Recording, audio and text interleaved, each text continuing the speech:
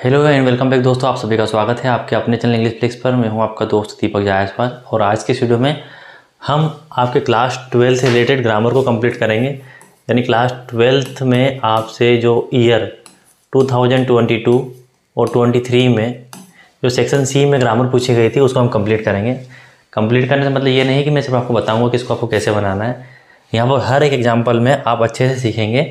कि यहाँ पर कौन सी चीज़ें आपको आनी चाहिए और कौन से नियम यहाँ पर लगते हैं। जिससे कि और भी ऐसे एग्जाम्पल्स यदि आपके एग्ज़ाम में आते हैं तो आप बना पाएँगे। सिर्फ़ यहाँ पर हम इन फिलिंग द ब्लैंक्स की पूर्ति करने के लिए या इनको फिल करने के लिए नहीं आए और न ही हम डू डायरेक्टेड को सिर्फ़ बनाने आए हैं।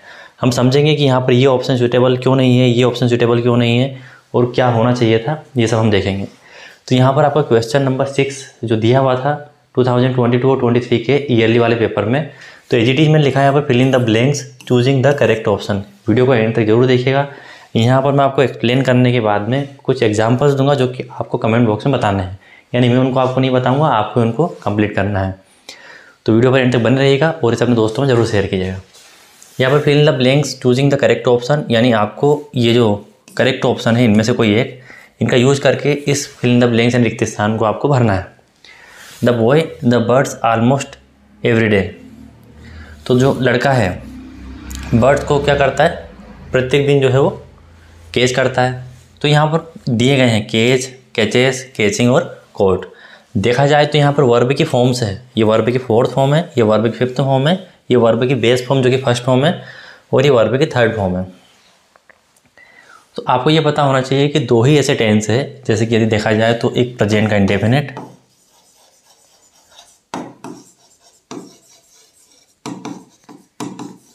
और एक पास्ट का इंडेफिनेट प्रेजेंट का इंडेफिनेट और पास्ट इंडेफिनेट का जो अफर्मेटिव होता है, जिसको आप असर्टिव सेंटेंस या पॉजिटिव सेंटेंस या सिंपल सेंटेंस भी कह सकते हैं, ये अफर्मेटिव जो सेंटेंस होता है, इसमें कभी भी हेल्पिंग ऑफ़ नहीं आती है। हेल्पिंग ऑफ़ क्या होती है? Do does is am was were had has have will will have been shall have been ये सभी हेल्पिंग ऑफ़ होती हैं। तो बॉय के बाद में आपको वो हेल्पिंग ऑफ़ दिख नहीं रही है, जिससे क्लियर होता है कि या तो हमारा टेंस जो है वो प्रेजेंट का इंडेफिनेट है या पास्ट का इंडेफिनेट है? वो लड़का जो कि आपको दिख रहा है कि सिंगुलर है तो सब्जेक्ट वर्ब कॉनकोड या सब्जेक्ट वर्ब एग्रीमेंट ऐसा कहता है कि यदि आपका सब्जेक्ट जो कि सिंगुलर है तो उसके साथ भी वर्ब भी कैसी आएगी? सिंगुलर आएगी। और वर्ब जो कि ये दी हुई है, वर्ब को सिंगुलर बनाने के लिए उसमें या तो ए जोड़ा जाता है, या ई एस जोड़ा जाता है, या आई एस जोड़ा जाता है। तो आप मुझे इन चारों में से बताइए कि कौन सी ऐसी वर्ब है जिसमें ए से एस लगा है? तो आप बता देंगे, सर, ये कैचेस जो है, ये यहाँ पर आएगा। लड़का प्रत्येक दिन जो है, वो बर्ड को पकड़ता है। अब आप ये कहेंगे कि यहाँ पर प्रत्येक दिन की बात हो रही है, इसलिए हमने कैचेस लगाया यदि प्रत्येक दिन की बात नहीं होती है पास्ट की बात होती है, हम वर्ब के सेकंड फॉर्म भी लगा सकते थे, क्योंकि हमने लिखा है पास्ट इंडेफिनेट के अफर्मेटिव में हेल्पिंग नहीं आती है। तो वर्ब की थर्ड फॉर्म भी यही होती है और वर्ब की सेकंड फॉर्म भी होती है। तो ये हम लगा सकते थे, यदि यहाँ पर एवरीडे नहीं आता। प्रत्येक दिन की बात हो रही है, यानी प्रेजेंट की बात हो रही है। तो प्रेजेंट में वर्ब की सिंगुलर सब्जेक्ट के साथ वर्ब की सिंगुलर फॉर्म आएगी और उसको पहचानने के लिए आपको देखना पड़ेगा कि लास्ट में एस या ई एस या आई एस लगा है। आई होप ये आपको क्लियर होगा। हम नेक्स्ट एग्ज़ाम्पल देखते हैं। सेकंड है आपका I think it rain today मैं सोचता हूँ कि आज बारिश हो सकती है। आप सोचते हैं, कोई बात नहीं, सोच सकते हैं। लेकिन जब आप सोचते हैं कि आज बारिश हो सकती है तो इसमें संभावना व्यक्त हो रही है। और जब पॉसिबिलिटी की हम बात करते हैं तो पॉसिबिलिटी के लिए मॉडल वर्ब में आपके पास सिर्फ़ एक ही मॉडल वर्ब है, वो है मे इसका यूज़ आप करते हैं पर्पज़ के लिए पॉसिबिलिटी के लिए परमिशन लेने के लिए। टेक परमिशन होता है ग्रांट परमिशन यानी परमिशन देने के लिए आप केन का यूज़ करते हैं। परमिशन देना है तो केन का, और टेक परमिशन लेने में आप मे का यूज़ करते हैं। साथ में आप पॉसिबिलिटी के लिए यूज़ करते हैं। अगर फार पॉसिबिलिटी यानी दूरस्थ वाली पॉसिबिलिटी को आपको बताना हो तो आप माइट का यूज़ करते हैं, जो कि इसका पास्ट फॉर्म होता है। तो माइट का यूज़ करते हैं जब आपको ऐसा लगता है कि पॉसिबिलिटी की संभावना बहुत कम है। तो यहाँ पर हम मे का यूज़ करेंगे पॉसिबिलिटी के लिए। तो चलिए हम मे तो लगा देते हैं, लेकिन इसके बाद हम और भी इनको समझते हैं। आपके पास मस्ट है केन है और कांड है। जहाँ पर आप केन कहाँ ला सकते हैं आप? जहाँ पर आपको बतानी हो एबिलिटी आपको जब योग्यता बतानी हो तो क्या यहाँ पर योग्यता बताई जा रही? नहीं। जब आपको बतानी हो कैपेबिलिटी क्या बतानी हो? कैपेबिलिटी यानी आपको क्षमता बतानी हो। क्या यहाँ पर किसी क्षमता बताई जा रही है कि he can lift 18 kilogram of weight कि वह अस्सी किलोग्राम वज़न उठा सकता? नहीं। मस्ट कोई भी चीज़ जिसमें आपका कंपल्सन हो, मजबूरी हो जहाँ पर आपको मजबूरी दिखे, वहाँ पर आप क्या लगाते हैं? मस्ट लगाते हैं। तो क्या यहाँ पर मैं सोचता हूँ कि आज बारिश हो सकती है, इसमें मजबूरी नज़र आ रही? नहीं। तो मजबूरी में जो काम आपको ज़रूरी करना है, जिसको नहीं करने पर कोई नुकसान हो सकता है, या आपको टैक्स फाइन करना पड़ सकता है, या कोई काम आपको ज़रूरी करना है, क्योंकि उसके बिना आपको मार्क्स नहीं मिलेंगे एग्ज़ाम में, या आप कोई काम करते हैं जिसमें आप अपनी एबिलिटी को बताते हैं, परमिशन देते हैं तो आप कैन का यूज़ करते हैं। नहीं करते हैं तो कैन नाट का यूज़ करते हैं। तो आप यहाँ पर ये सभी नहीं बता रहे इसलिए ऑप्शन आपका हो जाएगा may. I think it may rain today मैं सोचता हूँ कि आज बारिश हो सकती है, क्योंकि हम यहाँ पर पॉसिबिलिटी बता रहे हैं। और पॉसिबिलिटी में हमेशा मे का यूज़ होता है। Clear it question number third देखिए। There are precious books in the library library में मूल्यवान किताबें हैं। वो भी सी बात है, किताबें सभी मूल्यवान होती हैं। आपके पास यहाँ पर ऑप्शन दिए हुए हैं मच एनी सम और ईच देखा जाए तो ये सभी डेटरमाइनर हैं। और डेटरमाइनर वे सभी शब्द होते हैं जो कि किसी भी नाउंस के सामने लगकर या उसके फ्रंट में आकर उसको डिटरमाइन करते हैं कि आपकी जो नाउन है, वो कैसी है? प्लूरल है काउंटेबल है अनकाउंटेबल है सिंगुलर है, जो भी है, उसके बारे में बताती है। तो डेटरमाइनर जो होते हैं, इनमें से आपको लगाना याद होना चाहिए कब कहाँ लगता है। तो देखा जाए तो यहाँ पर ये मूल्यवान किताबें हैं। किसके बारे में बात हो रही है? मूल्यवान किताबों के बारे में बात हो रही है। किताबें जो कि नाउन है, इसके बारे में बताया गया कि मूल्यवान है। हमें डेटरमाइनर लगाना है जो कि नाउन के लिए लगता है। तो प्रीसियस को देखकर आप कोई भी इसमें से नहीं लगाएँगे, आप बुक्स को देखकर लगाएँगे।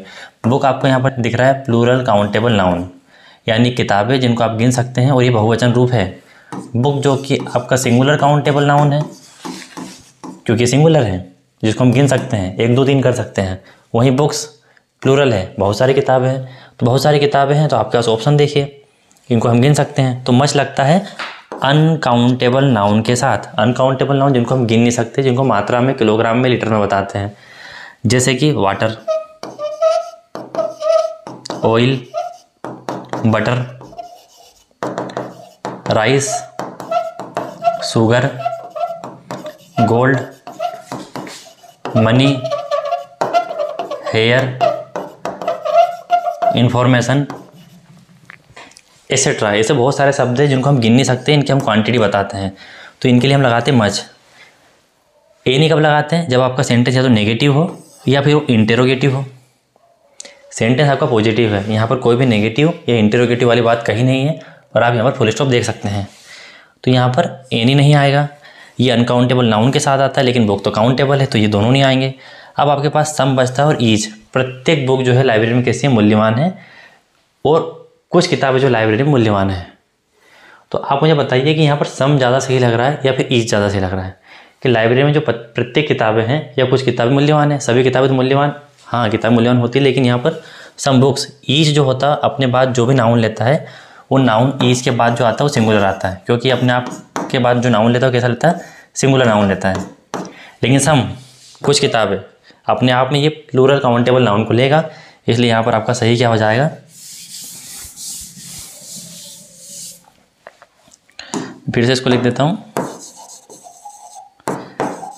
देर आर प्रीसियस मूल्यवान।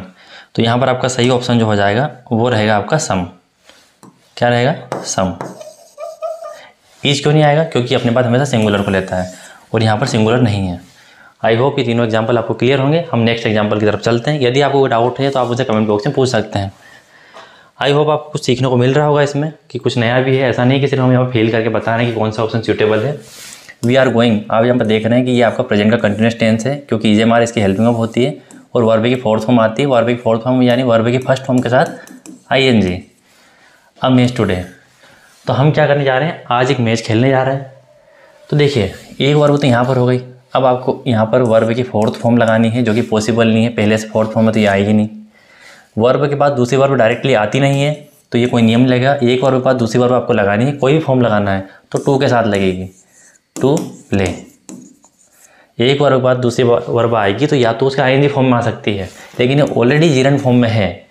हम एक और जीरन नहीं लगा सकते। या फिर हम टू इन्फिनिटी का यूज़ करके लगा सकते हैं तो हमारे पास टू प्ले यहाँ पर है तो we are going to play a match today हमें गेम खेलने जा रहे हैं। बहुत सिंपल था तो। My friend lives New Delhi. मेरे दोस्त कहाँ रहते हैं? न्यू दिल्ली में रहते हैं। किसी भी प्लेस जो कि थोड़ा बड़ा हो, कैसा प्लेस हो? बिग प्लेस हो।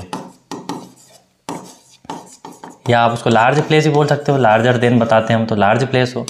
तो बड़े प्लेस के आगे हमेशा इन लगाते हैं और छोटे प्लेस के आगे हमेशा एट लगाते हैं। जैसे कोई कस्बा टाउन कोई colony railway station bus station airport इनके पहले एट लगाते हैं। निश्चित समय हो, जैसे कि एट ए या पीएम हुआ, तब भी एट लगाते हैं।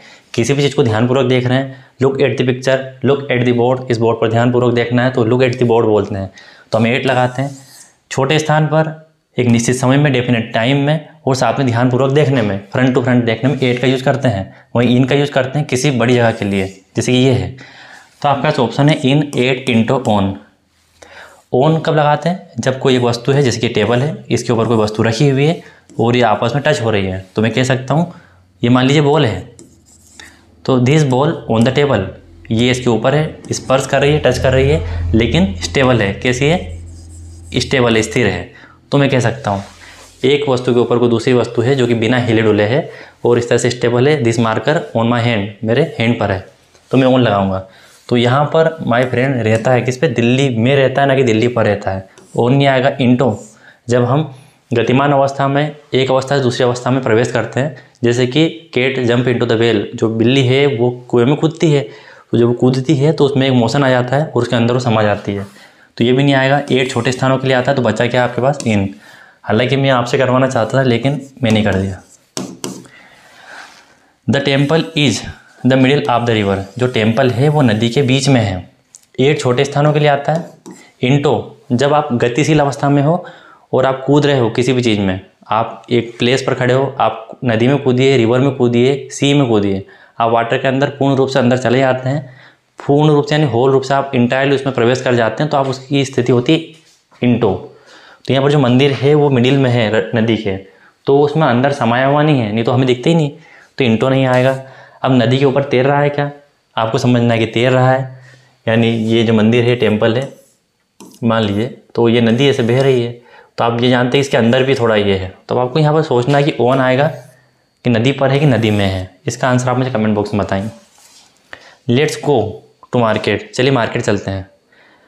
अब यहाँ तक सेंटेंस होता तो लेट्स गो आ मार्केट ऐसा हो सकता था। लेकिन where my father has put up stall उस मार्केट में चलते हैं। मार्केट कौन सा है?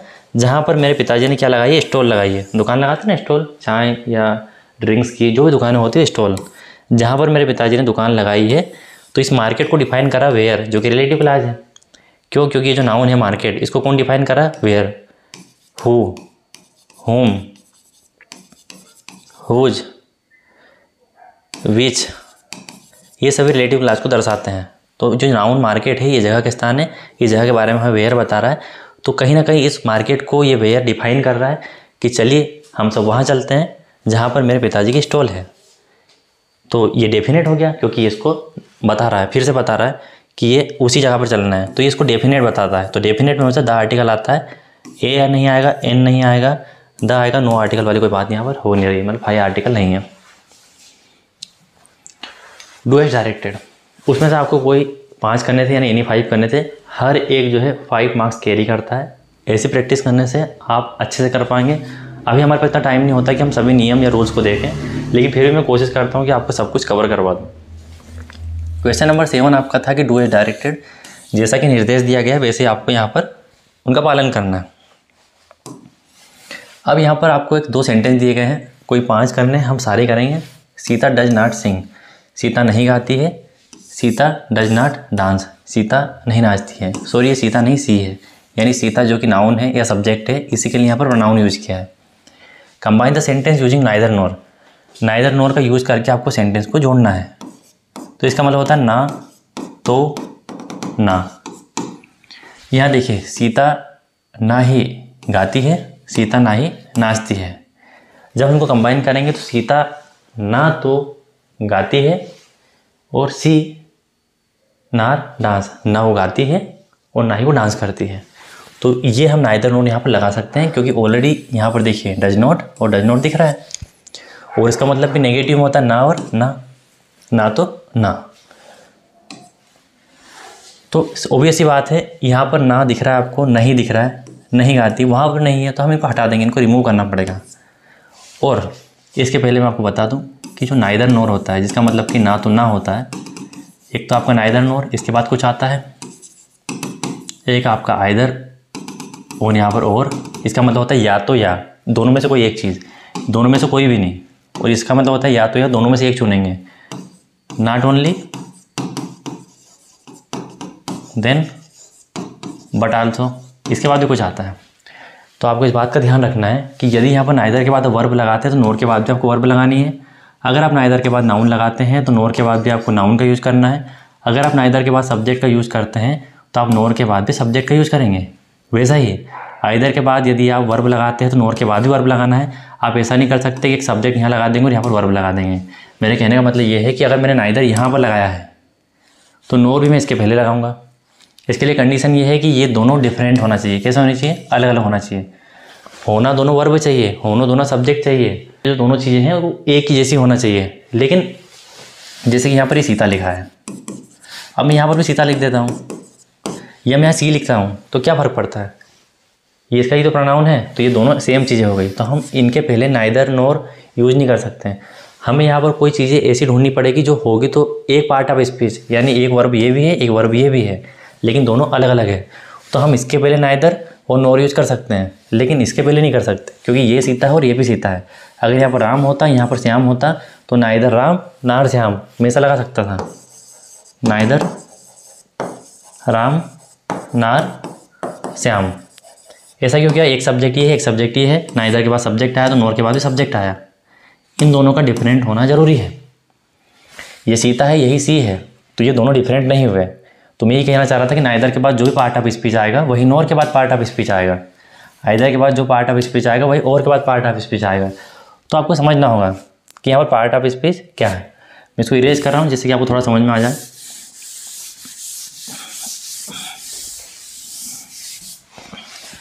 यहाँ पर आपका लिखा हुआ था Sita does not sing Sita Sita की जगह यहाँ पर लिखा हुआ था सी।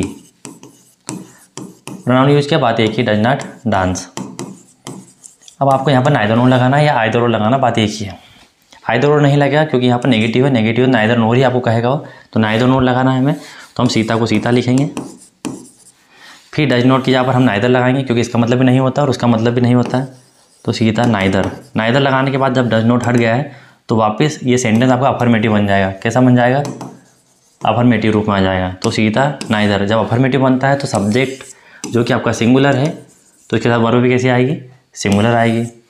तो सीता नाइदर सिंग्स यहाँ पर क्या लगा दिया हमने? एस लगा दिया। सिंगुलर सब्जेक्ट के साथ वर्ब भी कैसे आएगी? सिंगुलर आएगी, क्योंकि बीच में से हेल्पिंग वर्ब क्या हो गई है? रिमूव हो गई है। डज नाट था तो हमने एस हटाकर इसको ऐसा लिखा था। तो Sita neither sings, nor, dances. इसमें भी एस लगाएँगे, क्योंकि अब आपका सेंटेंस अफर्मेटिव टाइप में बन गया है। तो देखिए, यहाँ पर देखिए नाइदर हमने लगाया तो ये आपके पास वर्ब है और ये नोर। के बाद भी हमने क्या लगाई? वर्ब अगर यहाँ सब्जेक्ट आएगा तो यहाँ भी सब्जेक्ट आएगा। यहाँ पर एडवर्ब आया तो यहाँ पर एडवर्ब आएगा। नाउन आया तो वहाँ पर नाउन आएगा। तो इसलिए आपको कभी कन्फ्यूज़न होता है कि नाइदर यहाँ लगाएँ कि वहाँ लगाएँ। डस के पहले लगाएँगे डस के बाद लगाएँ। तो जो चीज़ सिमिलर है, उनमें क्यों लगाएँगे? इनको तो हट हट नहीं है, कि नाइदर की वजह से। तो Sita neither sings nor dance I hope ये आपको क्लियर होगा। अब mister Gupta teaches us Hindi. Mister Gupta हमें क्या पढ़ाते हैं? हमें हिंदी पढ़ाते हैं।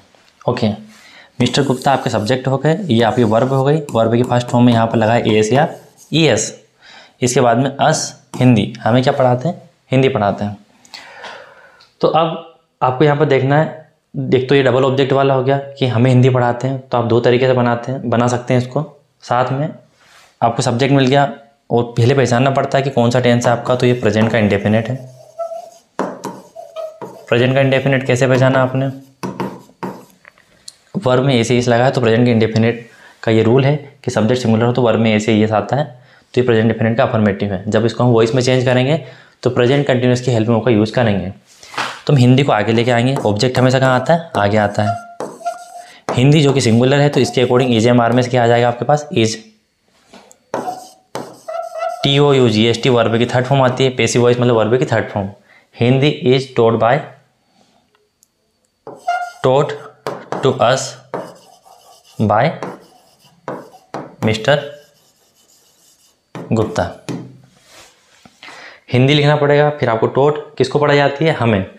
जब यहाँ पर आपको लगाना है कि अब हमें ये जो सेकंड ऑब्जेक्ट है, एक ये फ़र्स्ट ऑब्जेक्ट हो गया आपका, ये सेकंड ऑब्जेक्ट हो गया आपका तो फिर आपको दोनों में से एक को आगे लेके बनाना पड़ेगा। आप अस भी बना सकते हैं जैसे अस को हम क्या लिखते हैं? वी फिर हम बनाएँगे we are taught Hindi. By mister Gupta. ये आपके पास दो तरीके हो गए। पहले ऑब्जेक्ट को आगे लेके आ जाओ या फिर आप इस ऑब्जेक्ट को आगे लेके आ जाओ।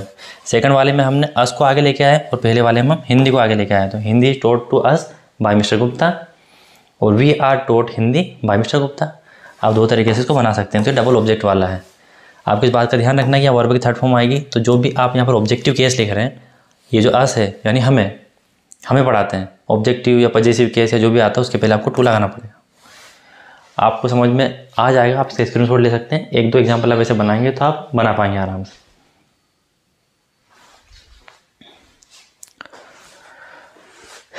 अब यहाँ पर देखिए। इफ़ दे डू नॉट इसको हम डोंट भी लिखते हैं शॉर्टकट में वर्क प्रॉपरली यदि वे ठीक तरीके से कार्य नहीं करते हैं दे विल बी पनिश तो उनको सज़ा मिलेगी। री राइट यूजिंग अनलेस आपको अनलेस का यूज़ करना है इन प्लेस ऑफ़ इफ़ यानी इफ़ के स्थान पर आपको किसका यूज़ करना है? अनलेस का। यदि आपने मेरा इफ़ या अनलेस का वीडियो नहीं देखा है तो आप जाकर देख लेना। मैंने बहुत अच्छे से समझाया कि आप इफ़ अनलेस का यूज़ कैसे करेंगे अनलेस यहाँ पर इफ़ का यूज़ कैसे करेंगे। यहाँ पर भी आपको क्लियर हो जाएगा। देखिए अनलेस का मतलब होता है यदि नहीं। क्या होता है? यदि नहीं। और वहीं इफ़ का मतलब होता है यदि। अब आपसे ऐसा कहा गया कि इस यदि के स्थान पर आपको यदि नहीं लगाना है। और सेंटेंस को फिर से लिख देना है। यानी आपको क्या लगाना है? अनलेस लगाना है। लगा देंगे, उसमें क्या दिक्कत है? ये फिर जहाँ पर आप लिखेंगे अनलेस लिखेंगे। जिसका मतलब अपने आप में होता है यदि और नहीं भी होता है। आप यहाँ देखिए, आपको यहाँ पर क्या मिल रहा है? यदि और आप यहाँ पर देखें तो इसका मतलब होता है नहीं। तो यदि और नहीं के स्थान पर हम ऑलरेडी यदि नहीं लगा चुके हैं तो बेस सी बात ये हटेगा। सिंपल सी बात है ना, आपको अनलेस लगाना है किसके स्थान पर? इफ़ के स्थान पर। तो इफ़ का मतलब यदि होता है और डू नॉट या डोंट का मतलब नहीं होता है। तो यदि और नहीं की जगह हमने एक साथ लगा दिया, यदि नहीं। तो यदि को भी हटा दिया और do not did not does not जो भी यहाँ पर आता है, उनको भी हटा देंगे। उनको हटाने के बाद में हम वापस लिखेंगे दे। तो समझ में आया कि डू नॉट इनको क्यों हटाया? क्योंकि हमने पहले ही इसमें यदि में नहीं है।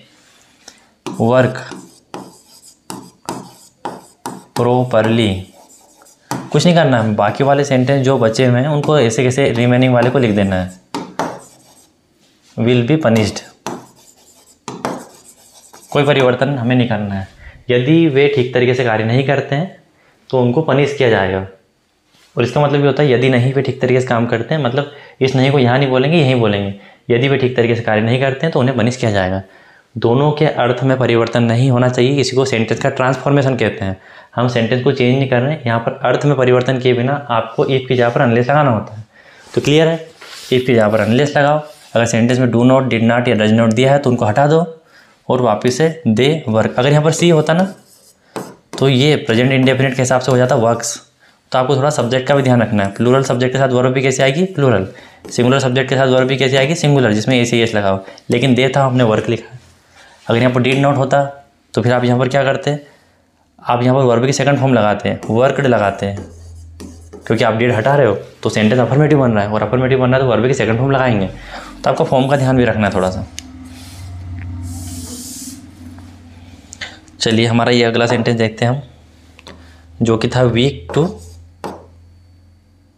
स्टैंड वह जो है खड़ा होने के लिए काफ़ी वीक है। यानी वह इतना वीक है, खड़ा नहीं हो सकता। अब देखिए इतना वीक है इस पर ध्यान मत दीजिए। He is too weak to stand वह खड़ा होने के लिए कैसा है? कमज़ोर है। यानी वो कमज़ोर है। आपको यहाँ पर सो देट का यूज़ करना है। इसका मतलब होता है इतना की।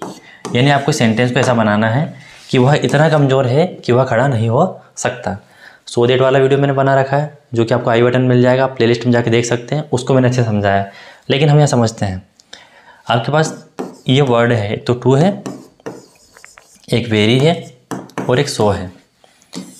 ये सभी, एक जैसे अर्थ में रखते हैं तो आप इस टू की जगह पर क्या लगा सकते हैं? सो लगा सकते हैं, क्योंकि आपको सेंटेंस को रीराइट करना है सो का यूज़ करके। तो आप ही को ही लिखेंगे ईज को ईज लिखेंगे, इस टू की जगह पर आप लिखेंगे सो वह इतना वीक है कि, इसका मतलब क्या हो गया? इतना।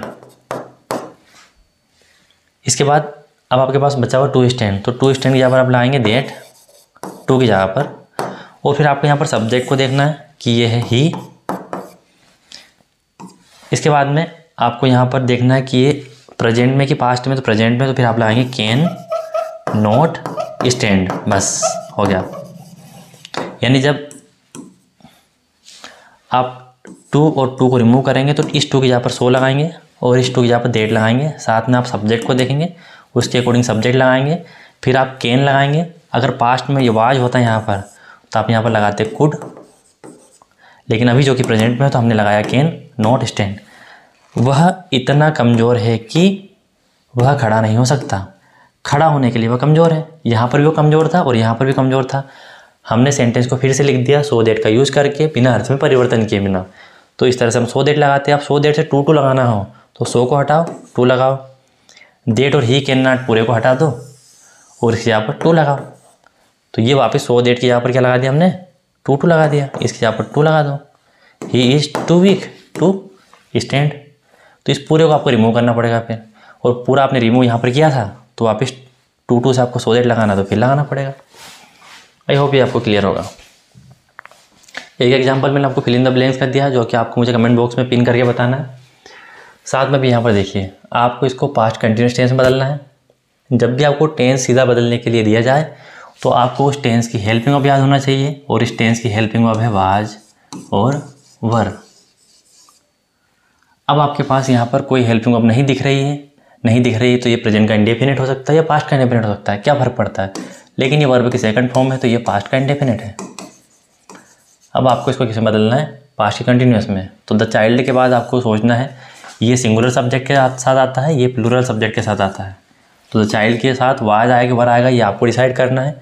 वर्ब की फोर्थ फॉर्म आती है तो आपको इसको बनाकर मुझे कमेंट में बताना है। नहीं तो फिर मैं आपके आंसर के बाद कमेंट कर ही दूँगा। He gets his salary he stands spending it इसमें आपको नो सुनर देन का यूज़ करना है, जिसका मतलब होता है जैसे ही। यानी जैसे ही वह सैलरी प्राप्त करता है, और तुरंत वो उड़ा देता है। ए सुने शीघ्र ही उड़ा देता है। तो जैसे वो प्राप्त करता है ए शून्य शीघ्र ही वो चीज़ों को उड़ा देता है। तो ए शून्य की जहाँ पर हम नो सुनर दिन लगाते हैं, और नो सुनर दिन की जहाँ पर हम ए शून्य लगाते हैं। दोनों में अंतर इतना है कि एज सुन एज इसमें कोई डॉट डॉट करके देन नहीं होता है। इसकी जगह पर हम क्या लगाते हैं? नो सुनर और इसके बाद थोड़ी दूरी पर एक कोमा होता है, उस कोमा की जहाँ पर देन लगाते हैं। तो आपको सेंटेंस में ए शून्य की जगह पर नो सुनर देन लगाना होता है। लेकिन आपके पास तो दो अलग अलग सेंटेंस दिए हुए हैं। तो इन दोनों को आपको जोड़ना है नो सुनर दिन का उपयोग करके। ही गेट्स ही सैलरी वह उसकी सैलरी प्राप्त करता है। ही स्टार्ट स्पेंडिंग इट और वह उसे स्पेंड करना प्रारंभ करता है। तो जैसे ही वह सैलरी प्राप्त करता है, वैसे ही वह उसको स्पेंडिंग करना प्रारंभ करता है। तो जैसे ही हमें लगाना है। तो आपको लिखना पड़ेगा यहाँ पर नो सोनर। नो सोनर के बाद एक नियम है कि हमेशा हेल्पिंग ऑफ़ आती है उस टेंस की, जिसका सेंटेंस है। तो सेंटेंस है आपका प्रेजेंट इनडेफिनेट का। कौन सा सेंटेंस है ये देखिए। Subject singular, verb singular singular के साथ लगा एस या ई एस देखिए। तो प्रेजेंट का इंडेफिनेट हो गया। सब्जेक्ट सिंगुलर हो तो वर्ब सिंगुलर आती है, प्रेजेंट डेफिनेट का नियम है। यानी सब्जेक्ट, वर्ब एग्रीमेंट का नियम है। तो आपको पहचानना होगा कि ही के साथ हेल्पिंग ऑफ़ क्या आती है? डज आती है। और प्लूरल के साथ हेल्पिंग ऑफ़ क्या आती है? डू आती है। तो इसके बाद हमेशा हेल्पिंग ऑफ़ आती है। नो सुनर के बाद हमेशा क्या आती है? हेल्पिंग ऑफ़ आती है। तो हम यहाँ पर लिखेंगे नो सुनर डज क्लियर है? इसके बाद आप लिखेंगे ही फिर जब आपने डज लगा दिया है तो इसका ये सटेगा he get salary no sooner does he get salary फिर आपको देन लगाना है तो फिर आप इस वाले सेंटेंस को जो कि सेकंड नंबर पर है, ये बी वाला सेंटेंस है, इसको जोड़ने के लिए आप इसके बीच में लगाएँगे देन। फिर आप लिखेंगे he start spending he starts spending इसमें आपको कोई परिवर्तन नहीं करना है। नो सोलर डज लगा दिया, डज लगा दिया तो इंट्रोगेटिव बन गया इंट्रोगेटिव बन गया तो ये हटा दिया सैलरी देन स्टार्ट स्पेंडिंग जैसे ही वह तनख्वाह या सैलरी प्राप्त करता है, वह उसे स्पेंड करना प्रारंभ करता है। तो ये दोनों सेंटेंस कंबाइन हो गए। देखते हैं आपके लिए एक और सेंटेंस बचा हुआ। ये देखिए। Raju write can either with hand इनको ना आपको सबको रीअरेंज करना है। वो देखो। अब मैं आपको बता देता हूँ स्टार्टिंग में तो राजू आएगा और लास्ट में आएगा आइदर हैंड अब आपको रीअरेंज करके इसको लिखना है। बीच में आप केन राइट को इधर उधर लगा के देख लेना और मुझे कमेंट में बता देना। आई होप ये वीडियो आपके लिए हेल्पफुल रहा होगा। और यदि ये हेल्पफुल रहा है तो आप इसे शेयर करें अपने दोस्तों में। और ऐसे वीडियो में आपके लिए, यानी क्लास ट्वेल्थ के लिए था ये स्पेशली यदि कोई इलेवंथ वाला बच्चा भी इसको देख रहा है देन उसके लिए सफिशियंट वीडियो है। टेंथ के लिए लेवल थोड़ा हाई है। तो टेंथ के लिए मैं स्पेशल वीडियो डालूँगा आपकी ग्रामर से रिलेटेड तो आप ज़रूर उसको देखिएगा। मिलता हूँ दोस्तों अलग इन्फॉर्मेटिव वीडियो में। तब तक के लिए टाटा बाय बाय